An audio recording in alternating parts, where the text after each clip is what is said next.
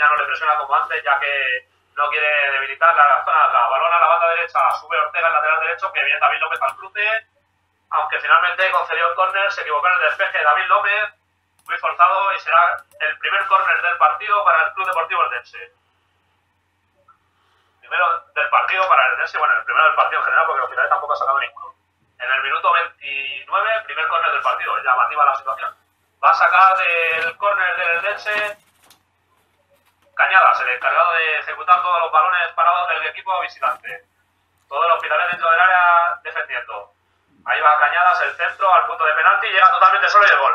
El gol del empate ha vuelto a llegar solo el jugador del Eldense y empata el partido. Me parece que ha sido Gotor, pero ahora lo confirmaremos. Empata el Eldense. Es la segunda vez que un jugador del Eldense remata solo el interior del área. La primera muy floja, que paró bien Aurestia. Y la segunda eh, batió muy bien Aurestia, el gran remate del central del Eldense, que empata el partido en el minuto 29. Y ahora veremos quién ha sido el autor del gol. Pero para mí ha sido Gotor, pero no estoy seguro.